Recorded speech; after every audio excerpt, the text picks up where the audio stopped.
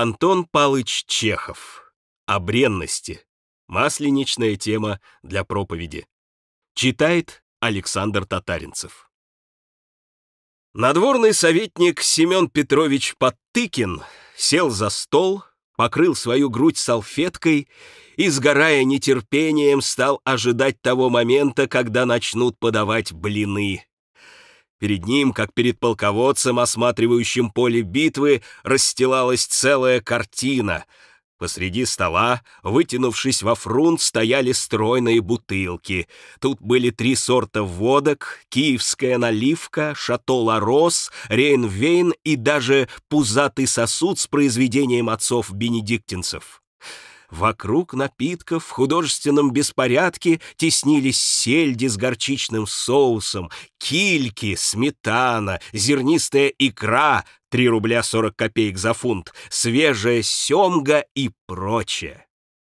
Подтыкин глядел на все это и жадно глотал слюнки — Глаза его подернулись маслом, лицо покривило сладострастием.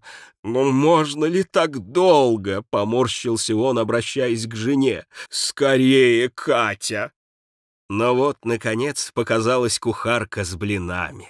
Семен Петрович, рискуя ожечь пальцы, схватил два верхних, самых горячих блина и аппетитно шлепнул их на свою тарелку. Блины были поджаристые, пористые, пухлые, как плечо купеческой дочки. Подтыкин приятно улыбнулся, икнул от восторга и облил их горячим маслом. Засим, как бы разжигая свой аппетит и наслаждаясь предвкушением, он медленно, с расстановкой, обмазал их икрой.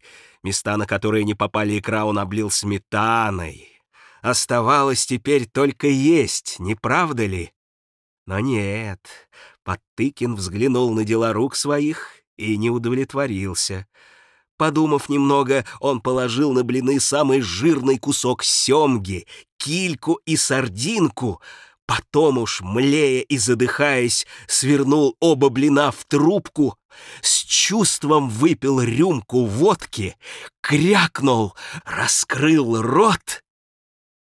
Но тут его хватил апоплексический удар —